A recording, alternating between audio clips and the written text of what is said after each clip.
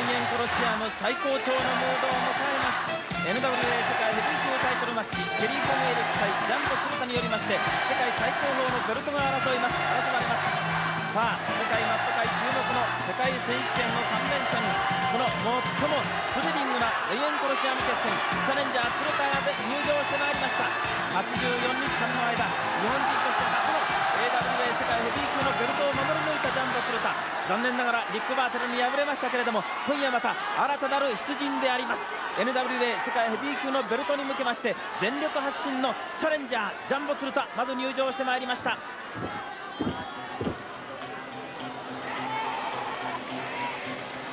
やる気満々のジャンボ鶴田の表情。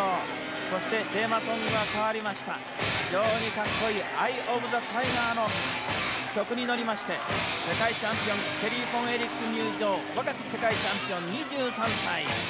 5月の6日世界マット界をあっと言わせました。世界チャンピオンの交代劇。23歳のケリー・フォン・エリックが入場してまいります。画面の左側ャレンジャーは右側ジャンボ鶴田ケリーコンエリックの表情ですニューチャンピオンに輝きましたケリーコンエリック今日で数えて16日目本当にほえほえの世界チャンピオン日本のリング上デイエンコロシアムに登場であります試合に先立ちまして日本テレビより両選手レフリー発表のでございます NWA 世界ヘビー級の選手権試合試合に先立ちまして日本テレビから両選手世界チャンピオンケリーにチャレンジャージャンボ鶴田。レフリーのジョー樋口さんに今豪華な花束が贈られました。リング上では世界タイトルマッチセレモニーが始まります。タイトルマッチ宣言が読み上げられます。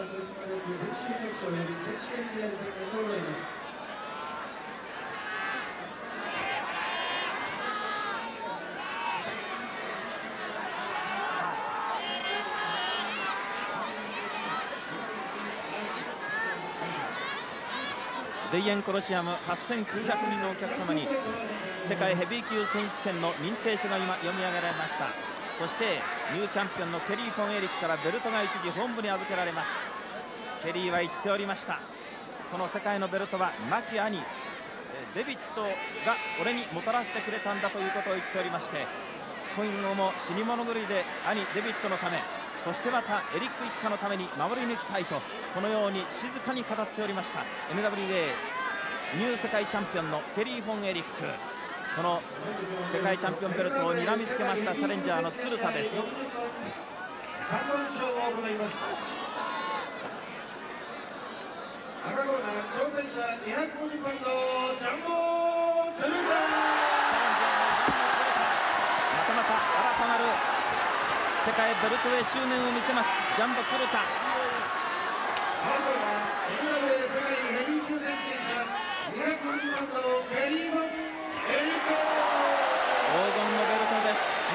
歳の若きチャンピオン。悲願のベルトダッシュゲリー・フォン・エリック。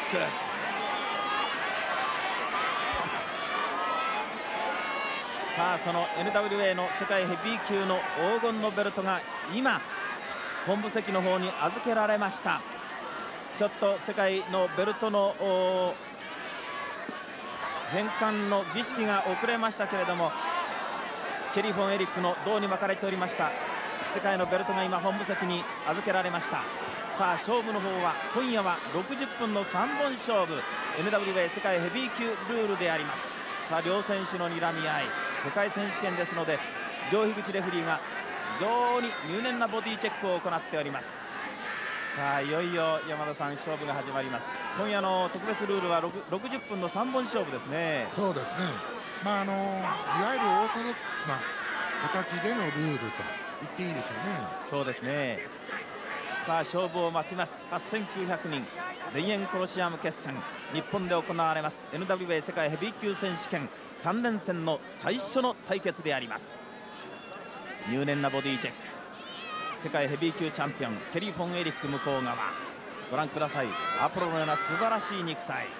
そしてチャレンジャーのジャンボ鶴田。がっちりと綺麗な握手を交わしまして勝負が始まりそうですが激しく睨み合いました両選手。今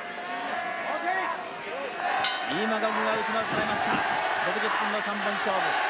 1本目の勝負であります。腰を低くしてクラウチングスタイルから相手の動きを見ております。チャレンジャーのジャンボ鶴田。デイエンコロシアンまず鶴田コール一色。8900人のお客様は今度はジャンボ鶴田には NWA の世界のベルトを取ってほしい。そういう悲願のファンの声かもしれません。さあいよいよ山田さん始まりましたね。そうですね。あの試合前にですね鶴田選手のドレッシングルームで心境を聞いたんですがね、ズバリケリー・フォン・エリックの逆転はどこかというふうに聞きましたらですね彼の若さだという答えが返ってきましたね、はい、と同時に鶴田選手は彼の若さが彼の逆転であると同時に非常に怖い点でもある、はい、まあ彼は今チャンピオンは踊り教師だから、はい、そこが敵に怖いというふうに言ってましたね。そうですかまずオープニングヒットとなりました。低い姿勢からのドロップキック。ジャンボ鶴田の顎の先端にヒット。そしてクラウチングスタイルで相手の動きを見つめております。ケリー・フォン・エリックであります。まあ、見事に5月の6日先ほど特別試合ハリーレースに敗れましたリック・フレアを逆さ抑え込みで破りましてニューチャンピオンの座についたこのケリー・フォン・エリックとうとうエリック一家にも山田さん待ち遠しい春が訪れましたね。そうですね、えー、あのエリック一家の、まあ、大ボスという、はい、その鉄の爪フリッツ・フォン・エリックですがあの人はあの AWA の世界ヘビー級王座は極めたことがあるんですが、えー主として自分はあの NWA のテリトリーに、えー、試合を場を求めてましたから、はい、なんとかなりたいと。言ってついに果たさなかった。その夢をですね まあ、ケリーが果たしてくれましたね。そうですね。そしてこの5月の6日のテキサススタジアムなどの試合は日本で休止いたしましたデビッド・フォン・エリックの、まあ、メモリアル試合。そういうようなあ追悼試合でもあったわけですね。そうですね。えー、今日あのリング上に現れた時のあの、はい、ケリーのガウン、その背中の縫い取りが In Memory of David そうでしたね。なってましたね。そうですね。それとあの先ほどから私見てるんですがあのケリー・フォン・エリックの右のシューズのアンクルのあたり、はい、あれ星条旗をしっかりくくりつけてるんでしょうか。そうですか。はい。そのあたりを見てももう本当にアメリカを代表してきてるんだという生きがいが見えますね、そうですねえ右の膝頭のあたりですね。膝頭です、ね、膝頭のあたり、ちょっと正常期が今ちらっと見えましたね。あ、そうですね。えー、そうですね。足首の上ですね。はい。そしてもちろんこのケリー・フォン・エリックはテキサスの出身でありますので、テキサスのまあ周期というのがテキサスの一つ星ですからね。そうですね。えー、これの意味があるのかもしれません。さあ NWA ニューチャンピオン若き23歳、えー、キャリア5年目で世界の頂点を極めましたケリー・フォン・エリック。しかし山さんケリー・フォン・エリックも世界の王座を極めたんですけれどもこれからまた非常にこの世界チャンピオンはまれに見るハードなスケジュールが待っておりますしきつい荒波に揉まれなければなりませんね。あそれはね想像を絶する世界だと思いますね。はいさあケリーがジャンボ鶴田をロープに放り投げました。ロープのリバウンドを利用して鶴田もなかなかいい立ち上がりを見せておりますがさあおっと巻き投げ。巻き投げで取られました。腕を固めます。左の腕を固めます。世界チャンピオンのケリー・フォン・エリック。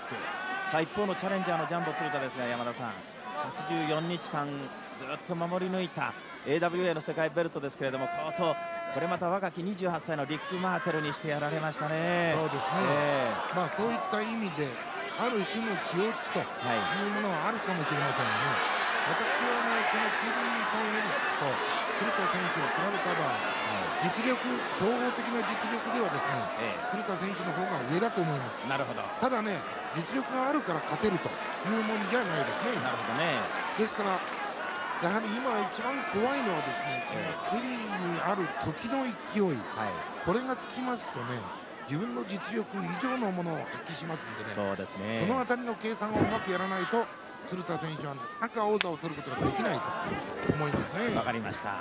ところで今夜のこの一戦は山田さん全国のファン世界のファンが AWA の世界チャンピオンそして NWA の世界チャンピオンのえー、世界統一戦というような夢を、ま、描いていたわけですけれども、まあ、ジャンボ鶴田選手がリック・マートンに敗れましてその夢は消えたんですけれども鶴田には今後ますますそういう大きな本当に大きな機会を訪れると思いますね。そうですね、えー、とてもねあの鶴田選手のような人材でなければ果たせない夢だと思いますね。えー、そうですね。ぜひその AWA の世界チャンピオン対 NWA の世界チャンピオンの一騎打ちこの日本のリング上でそしてジャンボ鶴田が、えー、やってのけてもらいたいそういう気がいたします。さあチャレンジャーの鶴田ダブラーのスープレックスの姿勢に回っておりますがこれで投げるか投げました。華麗なる反り投げチャレンジャーのジャンボ鶴田背中を打ちました。世界チャンピオンのケリー・フォン・エリック。正直なえー、話をしておりましたケリー・フォン・エリックですけれどもリック・フレアよりもハーリーレースよりもこの鶴田が怖いですとはっきり言ってますね。そうでしょうね。あのやっぱりねその鶴田選手にもね非常に今あの勢いっていったようなものが感じられますね、はい、さあ世界チャンピオンのケリー・フォン・エリックがいわゆる円盤パンチとでも言いましょうか中学ハイスクール時代それから大学時代も陸上の円盤投げをやってましてこれがディスカスパンチというような意味を持ちまして非常にこの体ごと打ちまくりますパンチ。これも持ち味になっております。そうですね、えー、あの非常に勢いと体重をうまくミックスして攻めますね、はい。はい、今度はカウンターのエルボー失敗。フランクボディアタック釣れたさあカウンター北へのジャンボ鶴田。AWA の世界のベルトは日本人で初めて日本人でただ一人 AWA のベルトを取りました。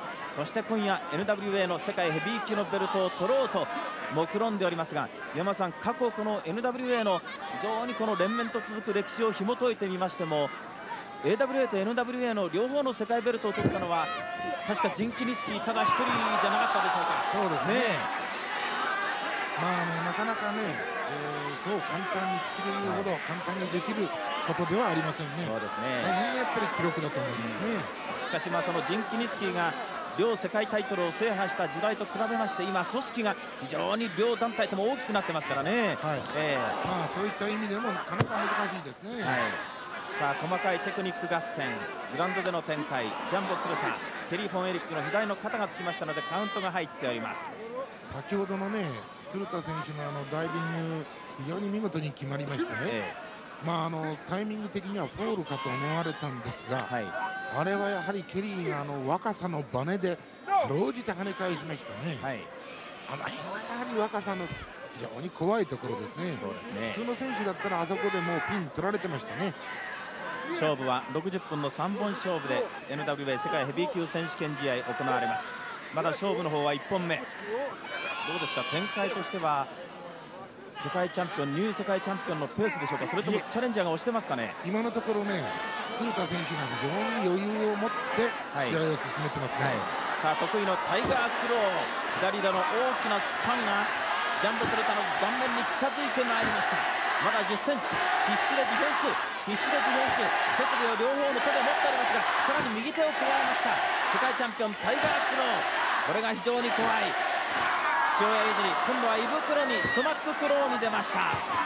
顔面フェイスクローがダメなら胃袋づかみ。いわゆるストマッククロー。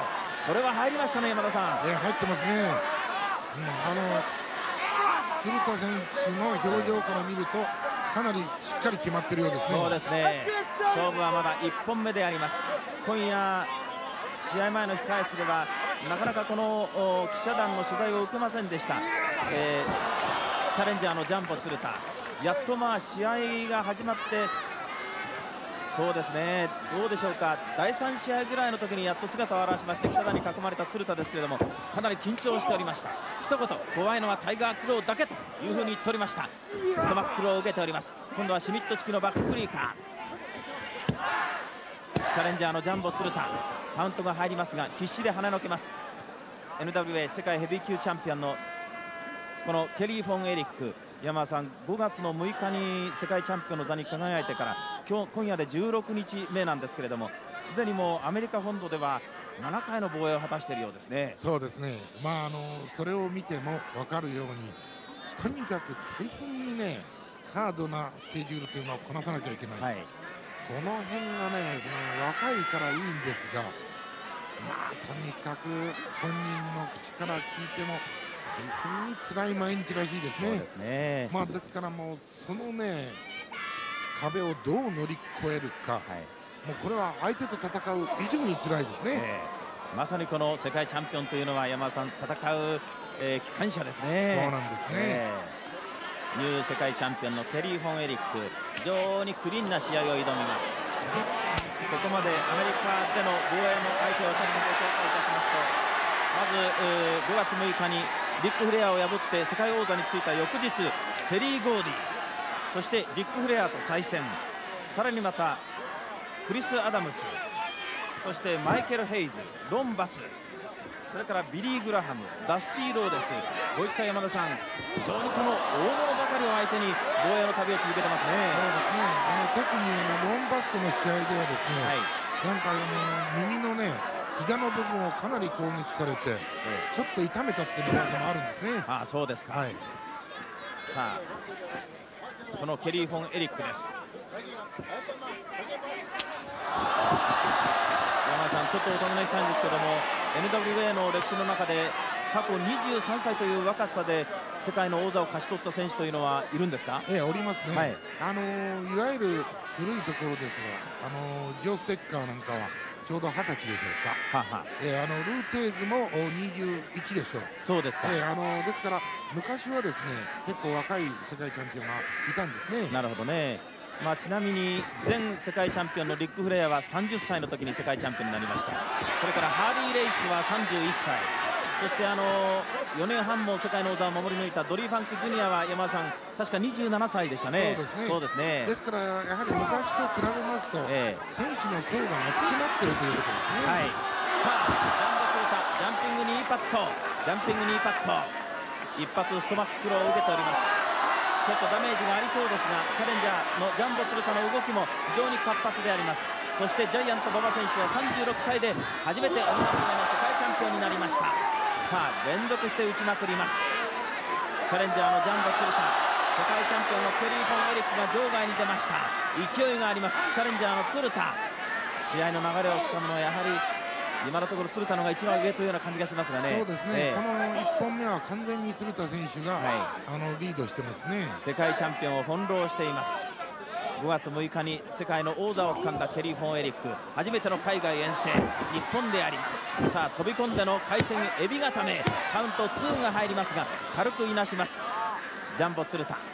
鶴田も山田さん AWA の世界ヘビー級のベルト頂点を極めた男だけありましてこの若き世界チャンピオンを向こうに回してびくともしませんね、えー、貫禄では鶴田の方が一番上じゃないですか。そうですね。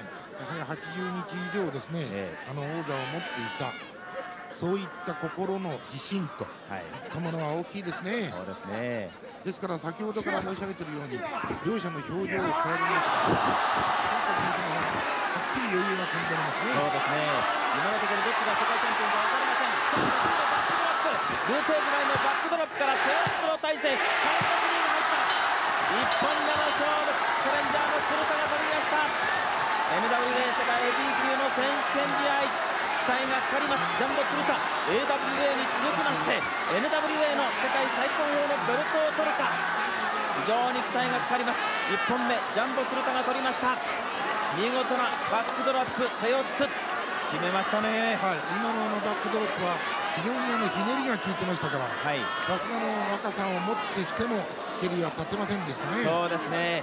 1本目は13分05秒。最後は耐え固めになりましてチャレンジャーのジャンボ鶴田が1本選手であります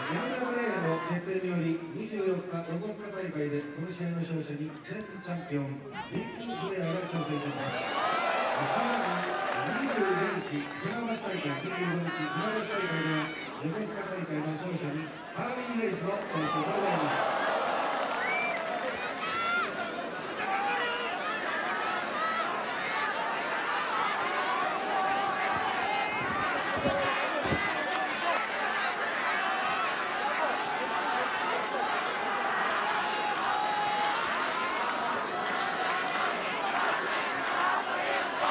NWA の世界ヘビー級選手権試合。非常に盛り上がりましたデイエン・クロシアム。チャレンジャーのジャンボ鶴田が1本目。世界チャンピオンのケリー・ノーリックが見事にルー・テーズのバックブロップから体固め1本先取いたしました。さあ勝負は2本目のゴングです。今鐘が鳴りました。さあこのまま山田さんストレート勝ちということになりますと60分の3本勝負 NWA ルールによりまして 2P ホールでタイトル移動ということになりますね。そうですね、えーまあ、今のところ非常に鶴田選手にはいいムードですね。そうですね。常に押せ押せムードになりました。さあ拳打ちでケリー・フォン・エリックをガンガン攻め込んでいます。完全に世界チャンピオンのケリーが押されっぱなし。全くジャンボ鶴田のペースになってまいりました。この勢いで山本さん行きたいところですねええあの問題はね、ちょっと待ってください。ケリーの額が切れました。切れましたね、えー、盛んに打ちます。ジャンボ鶴田のこれはもう5カウント以内でのまあ反則。拳で突き上げておりますので一発で決めました。鶴田のパンチは強い。鶴田のパンチは強い。期待が切れました。世界チャンピオンのケリー・フォン・エリック。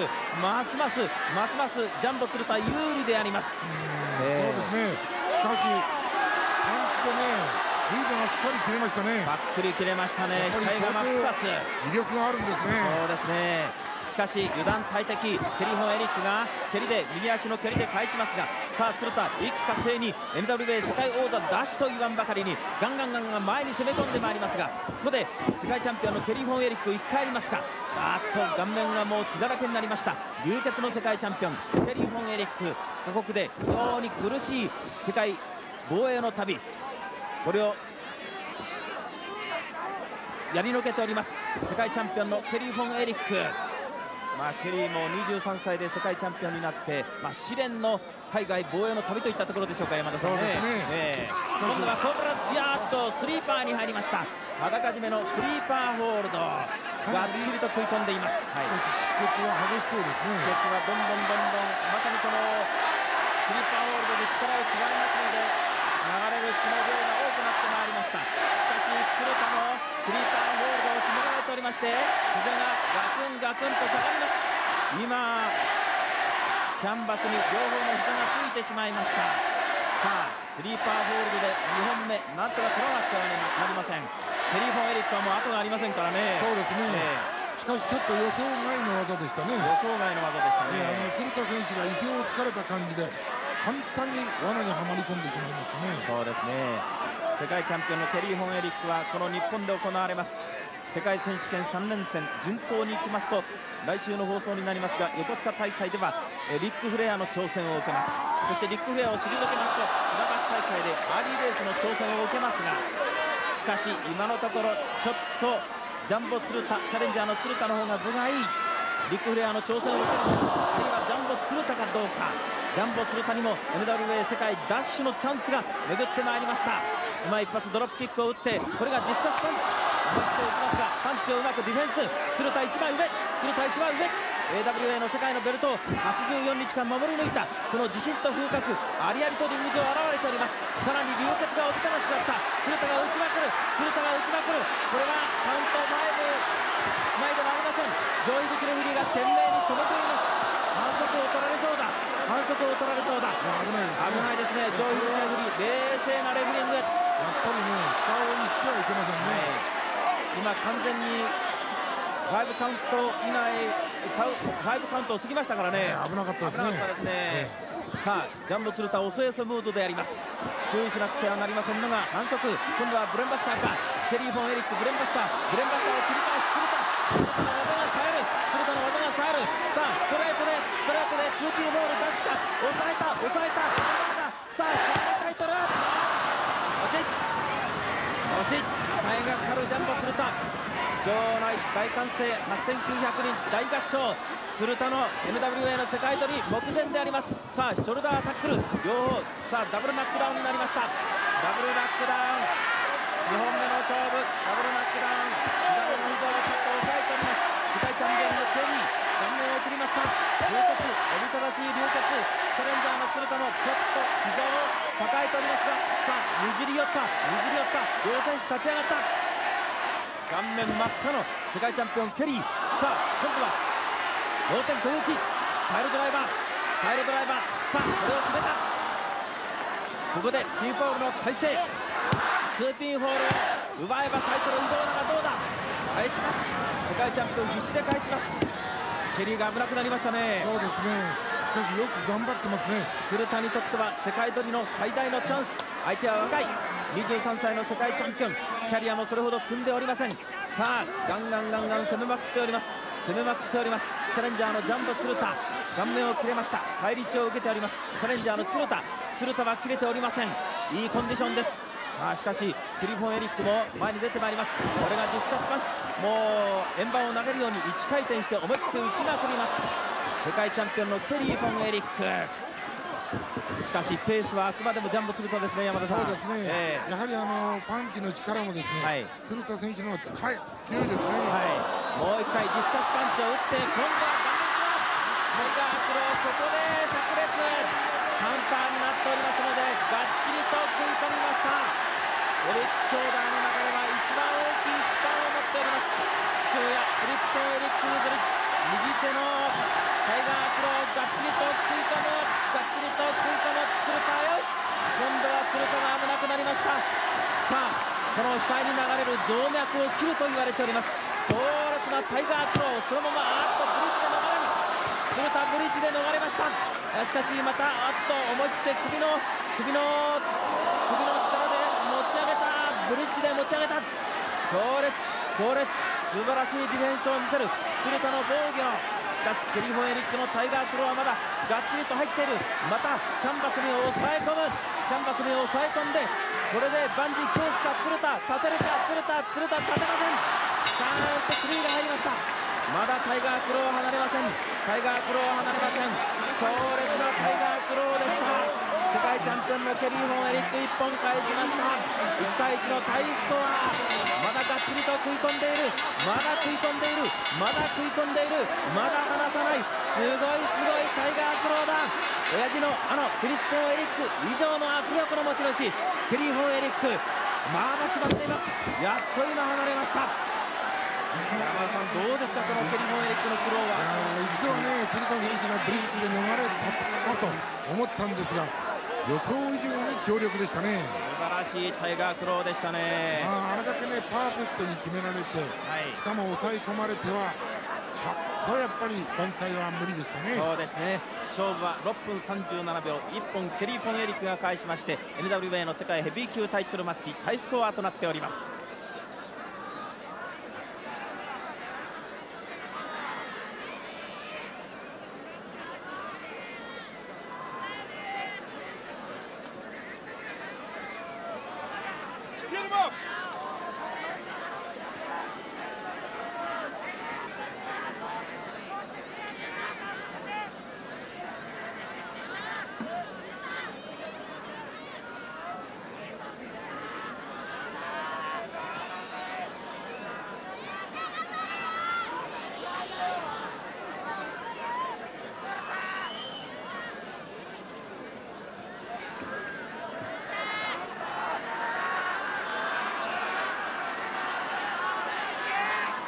NWA の世界ヘビー級のタイトルマッチ。今夜は60分の3本勝負。勝負の方は1対1それぞれ1本ずつ取っています。1本目は13分05秒ジャンボ鶴田バックドロップからタイガーため2本目はケリー・フォンエリック必殺のアイアンクローでジャンボ鶴田ギブアップ。肩がつきましてピンフォール。ケリー・フォンエリック1本返しました。さあ山田さんいよいよ3本目の勝負。始まりますね。問題はね鶴田選手のダメージの具合ですね。そうですね。今あのコーナーに帰ってからしきりに首を振ってるんですが、ええ、ここからではちょっとその本当の様子は分かりませんからね。両選手に1分間のインターバルが与えられました。顔面を切りました。世界チャンピオンのケリー・フォン・エリック頭を抱え込んでおります。チャレンジャーのジャンボ・ツルタさあゴングが鳴りました。いよいよ NWA 世界ヘビー級選手権決勝の3本目であります。残りタイムはあと60分の3本勝負ですので40分18秒は待っています。この試合の中で勝負をつけなくてはなりません。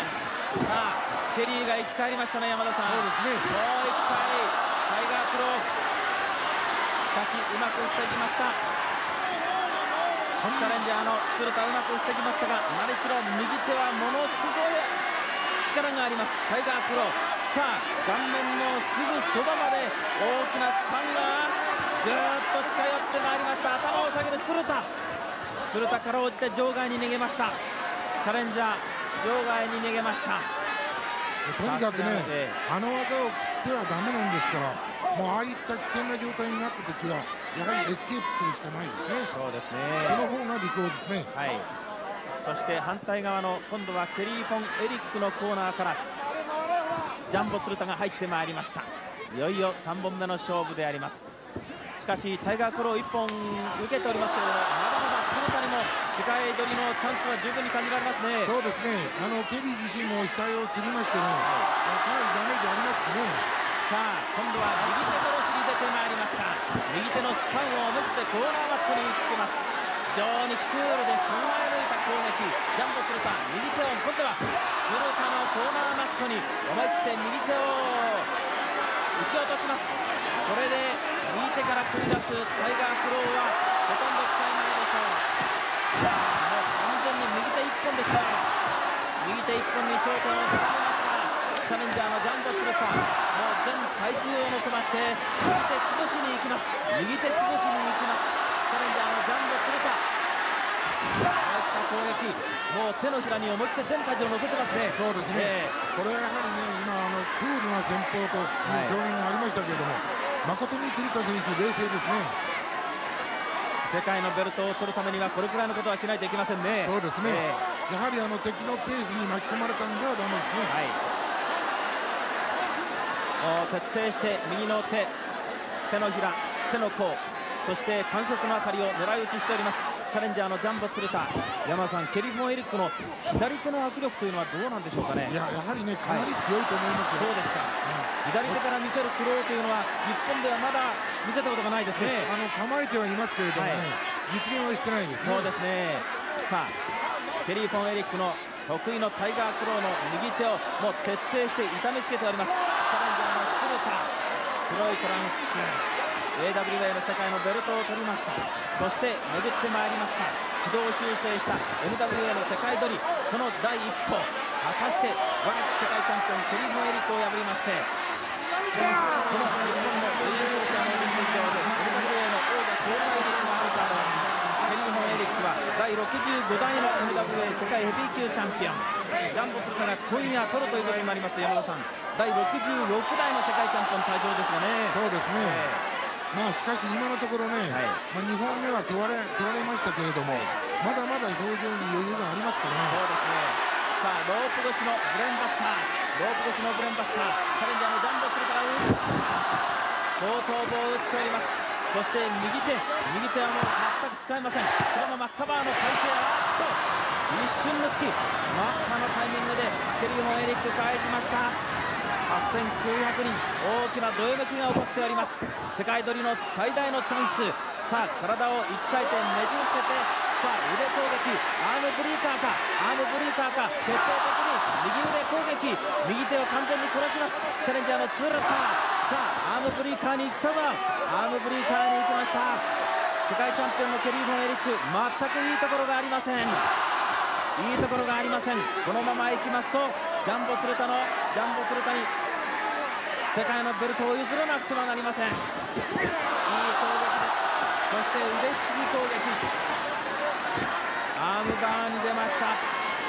チャレンジャーのジャンボ鶴田。さあ山田さんまさにおせおせモードですよね、えー、やはりねあのかつて馬場選手がですねこういうね攻撃を見てたことがありますね。相手の腕1分に絞る。これ非常にいい攻撃ですね。レイエンコロシアム8900人。鶴田リードというところで鶴田コール一色大合唱です。やはり山田さん日本のファンというのはジャンボ鶴田は AWA の世界を取ったけれどもやはり鶴田には NWA の世界を取ってほしいという願望の表れでしょうか？そうですね、えー、まああの AWA の世界タイトルを取ったからなお一層その願望も強くなってると思います、そうですね。さあ今度はケリーがバックドロップ。さあ起死回生のバックドロップになるかどうか。そしてエルボードロップを打ち落とします。世界へ試練の旅防衛の行脚に出ております。ニューチャンピオンのケリー・フォン・エリック。その最初の地が日本のリング上。しかし険しいスリリングな世界タイトルマッチ。大物ジャンボ鶴田を防衛の相手に選びました。ケリー・フォン・エリック。今度は盲点食い打ち盲点食い打ちを見せたところでジャンボ鶴田が口から泡を吹きました。そして世界チャンピオンのケリーがセカンドロープからトップロープ。後ろ向きエルボーを落とすかエルボーを落とすかエルボーを落とすかこれが自爆失敗。完全に右の関節キャンバスに直接当たりました。さあ世界チャンピオンここで相手の動きを見てさあ寄せ寄せモードだ。鶴田がジャンピング2パットジャンピング2パットジャンピング2パットで相手のジョー穴の先端を砕きます。そして足を取った足を取ったいいポジションを取っていいポジションを取ってさあどうだ？どうだ？逆エビボストンクラブボストンクラブ。腰がちょっと高いか？ボストンクラブ。歯を食いしばって歯を食いしばってこれをギブアップを取れば 2P 終わると同じ。ギブアップを取れば世界タイトル移動さあ苦しいぞ。世界チャンピオンのケリー・ボール苦しいぞ。鶴田いいペースですね山田さん。非常にね頑張ってますね。先ほどまでねケリーの腕が一本腹の下に入ったんですが、ええ、それも離れたんで頑張ってほしいですね。これがケリー・ポン・エリックの表情であります。日本で兄デビッド・フォン・エリックは休止いたしました。俺にベルトを取らせてくれたのは兄デビッドのおかげだというふうに言っております。そのデビッドのためにも日本では絶対ベルトを譲らないと言っております。さあローリングクラッチホールド合戦。足を取っての首固め。ケリー・フォン・エリックも一瞬の隙をうまくついています。両者一進一退。しかし動きの速い方はチャレンジャーのジャンボ鶴田だ。ジャンボ鶴田いい動きを見せていますがケリーも必死で返す。必死で返す。右のパンチ。右のパンチを打ちます。さあ今度は盛り返しました。ケリー・フォン・エリックが盛り返した。今度はトップロープ。トップロープの後ろを乗せて今度は場外乱戦か。両選手がリングの外にした。場外乱戦か。大きな背中これがケリー・フォン・エリック。さらに引きずり落とした。引きずり落としました。チャレンジャーのジャンボ鶴田ちょっともたもたしています。さあさあ10カウントで戻らなくてはなりません。NWL リングの奥に立っておりますのはケリーのエリック。さあリング外でバックドラップ外でバックドラップ。さあバックドラップを打ってコートで打ったと鶴田が中に入るか。鶴田勝負を拾うか。あっとカウントが続く。ダメだ。ダメだ。一瞬収まった。一瞬遅い10カウントが入ってしまいました。場外10カウントが入ってしまいました。リングの中に転げ回るようにしてジャンボ鶴田が入りましたけれども山田さん時すでに遅しという感じですね。そうですね、えー、鶴田選手がバックドロップを打ったんですがちょっとあのその後足がもつれて離れませんでしたね、えー、そうですね残念ながら3本目の勝負は両選手リングアウトを取られたようで結局は1対1の引き分けでケリー・フォン・エリックかろうじて防衛に成功というふうにお伝えしておきます。8900人のお客様に、えー、その結果が今告げられておりますがケリー・フォン・エリック対ジャンボ・鶴田のスリリングなディエントロシアム決戦世界タイトルマッチ。ケリー・フォン・エリックまさに発狂の防衛でございます。懐深く黄金のチャンピオンベルトを抱きました。ニューチャンピオンのケリー・フォン・エリック23歳。しかしケリーにとっては非常に苦しい防衛でしたね、えー、そうですね、えー、しかしとてもね23歳のね若さとは思えないような、はい、老快なテクニックも見せてくれましたね。なるほどそうですか。しましたね。そして攻めに攻めました。チャレンジャーのジャンボ鶴田いかがですか？えなかなかね元気に攻めたんですが、はい、結果的にはやはりあの2本目についたタイガークロー、このためにが3本目にまで尾を引いていたような気がしますね。わかりました。チャレンジャーのジャンボ鶴田山田さん。NWA 世界最高峰への挑戦は今夜16回目。相手はまあキャリア5年で23歳のキャリアの少ない世界チャンピオンだっただけに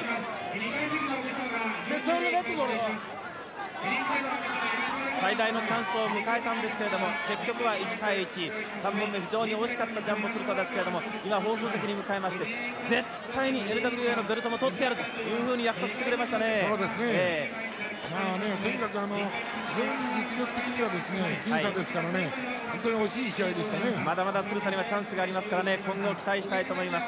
さあこれで来週の横須賀大会は、えーケリー・フォン・エリク対ビッグフレアの NWA 世界ヘビー級の選手権試合ということになります。来週は横須賀大会からお伝えしてまいりますがどうぞご期待ください今夜は東京スポーツ新聞社山田隆さんの解説でお送りいたしました山田さんどうもありがとうございました。どうも、えー、田園コロシアムからこの辺でお別れしたいと思います。全国のプロレスファンの皆様ごきげんようさようなら